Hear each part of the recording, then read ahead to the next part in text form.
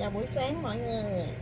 Hôm nay à, mình sẽ làm à, món à, trứng bánh tráng mãi nha đây là bánh tráng mãi nè.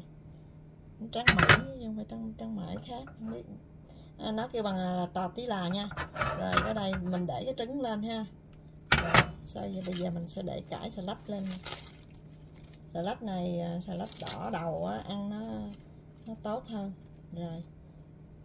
À, rồi bây giờ mình sẽ để cà lên nè ha đó, đẹp chưa? Rồi bây giờ mình sẽ cho một cái nước sốt lên nữa cho nó ngon ngon nha.